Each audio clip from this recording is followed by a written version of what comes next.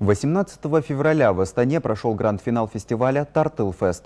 Правила соревнований простые – подтянуться правильно и больше всех. Нашу область представил молодой спортсмен, поднявшись на третью ступень пьедестала. Подробнее в материале Валентины Диденко.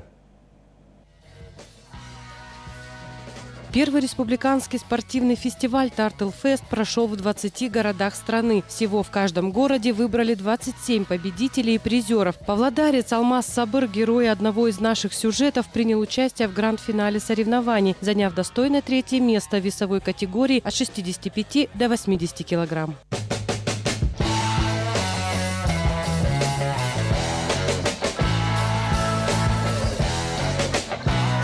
В гранд-финале приняли участие 170 спортсменов, добившихся наилучших результатов на региональных отборочных соревнованиях в 9 возрастных категориях. Возраст участников от 14 лет до 51 года. Кроме этого, чемпионы гранд-финала представят Казахстан на чемпионате мира по стрит-воркаут. көп жағдайда осы сайыстың биыл өткеніне мән бермегендер бұл жай ғана бір әлеуметтік жоба жай ғана бір қатты бір мән беретін сайыс емес деп ойлаған адамдар болса олар қателесті.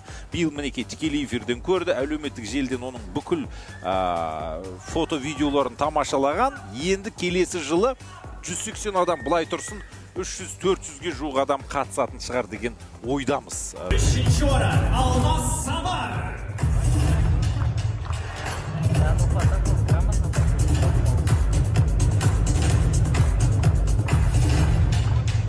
Общий призовой фонд гранд-финала 54 миллиона тенге. Победитель за первое место получил 3 миллиона. Призовые за второе место составили 2 миллиона тенге. Алмаз Сабыр удостоен сертификата на 1 миллион тенге. Еще один павлодарец Илья Иванов в своей весовой категории занял второе почетное место, уступив спортсмену из Петропавловска всего одно очко. Валентина Диденко, Ертес Акпарат.